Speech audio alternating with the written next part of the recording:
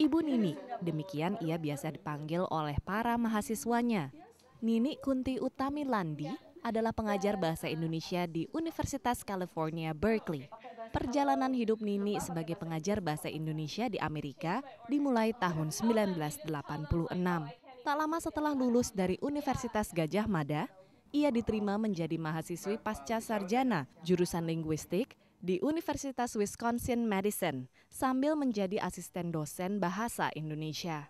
Setelah lulus dan pindah ke California, Nini pun melamar ke Universitas California Berkeley dan menjadi dosen di sana hingga kini 15 tahun kemudian. Mahasiswa Nini tidak hanya mahasiswa program sarjana, melainkan juga pasca sarjana dan tingkat doktoral. Kebanyakan warga Amerika yang ingin melakukan riset di Indonesia? Uh, karena bahasa Indonesia dianggap salah satu bahasa Asia Tenggara yang cukup penting peranannya, ya, terutama um, bagi scholars, scholars dari Amerika yang ingin mengadakan um, riset ya di Indonesia. Dan kalau saya seperti orang yang tertarik ke politik-politik, Indonesia satu negara di dunia di mana ada mayoritas orang Islam dan juga ada demokrasi. Tak hanya mengajar bahasa Indonesia, Nini juga banyak memperkenalkan aspek budaya, adat istiadat, sopan santun, serta kebiasaan di Indonesia kepada para mahasiswanya. Dan saya lihat Ibu Ninix, dia bukan hanya dosen yang uh, ingin mengajar bahasa, tapi juga orang yang ingin memberikan uh, kepada orang lain um, bagi kebudayaan Indonesia.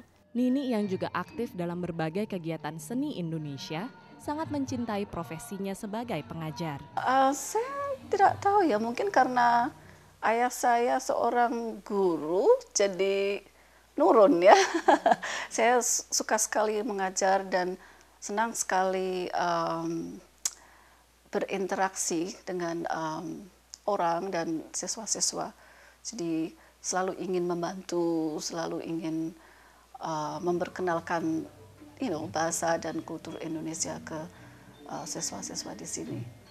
Ya, sebanyak-banyaknya. Tentunya tidak mudah mengajar mahasiswa yang memiliki latar belakang dan minat beragam seperti ini.